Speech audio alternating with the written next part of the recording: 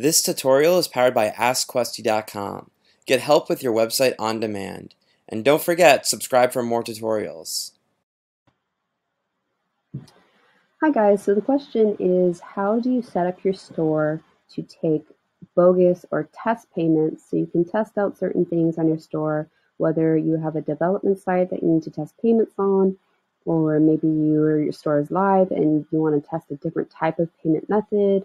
Um, you know, you want to make sure people don't, you know, buy a bogus amount of things, etc. Um, I'm going to show you how to do that. It's super simple. It's already native in Shopify. Um, and this works on credit card purchases. So FYI on that. Um, but it's already native in Shopify and I'm going to show you how to do it. It's super simple. All you have to do is go into your settings once you're logged into your Shopify site. It's right down here. I can't actually uh, automatically click on it because my recording software is in the way. But this is what the page looks like. Um, and what you're going to do is you're going to go to payment providers. So just click into that. And I already have the gateway activated. I'm going to show you what you have to do. If you have any other payment providers activated, you're going to need to deactivate all those payment providers, whether you have uh, Shopify payments or PayPal, uh, credit card payments, etc. You're going to need to deactivate those in order to use the bogus gateway. Uh, so here's the bogus gateway, uh, and this would apply to your other payment providers. All you have to do is click manage, scroll down and click deactivate, uh, and then I'll ask you if you're sure about deactivating and just click yes. So you're going to want to do that for all your current payment providers. And when, when that is completed, if you go back to your payment providers, what you're going to do is you're going to scroll down to go to third party providers and you're going to choose third party provider. And the for testing bogus gateway is going to be the first one on the list. So what you do, you just click that and it's going to give you some instructions of what's going to happen. So pretty much what you're going to do is uh, you can start purchasing a product um, and instead of entering a credit card number, you can you can either put a one, two, or a three. So what a one's going to do is going to simulate an approved transaction. What two is going to do, it's going to simulate a declined transaction, and what three is going to do is going to simulate a gateway failure. So if and if you can also uh, check these, you can do different types of currencies as well.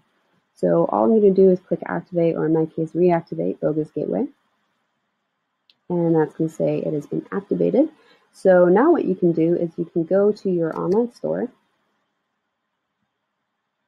and I've built out a test product so you can see this in action. So here's my test product right here. There it is. And we're going to click into this. All right. And I'm going to buy this now. All right, so from here, you're going to go to your payment plans. You can enter uh, whatever you need to enter here. Uh, for the shipping address, I'm just going to do test, test for all this. Test.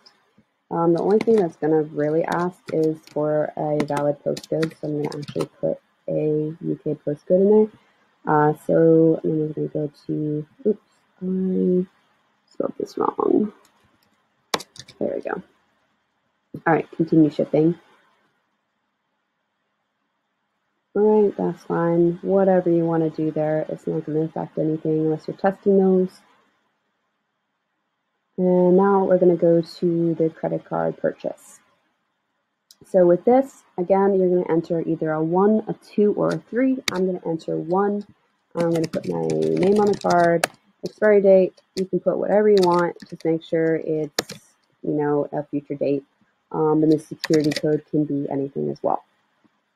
I'm just going to do same as shipping address so I don't have to enter another billing address. And then you just click pay now. Order is being processed. And there you go. Thank you, test. I have my order is confirmed and it looks like it was a real order uh, and you should be able to see this uh, all in your shipping etc uh, so that is how you test bogus payments as you can see if you go to your orders here is my test product right here authorized and unfulfilled so all you have to do is make sure to go back into your settings once you're done testing uh, your gateway and testing all your products, make sure you go back into your settings, deactivate the bogus gateway, and reactivate any payment providers you had up uh, before you activated the bogus gateway. I hope that helps. Have a great day. For watching. If this was helpful, please subscribe. And if you need extra help, visit AskQuesty.com and send us your questions.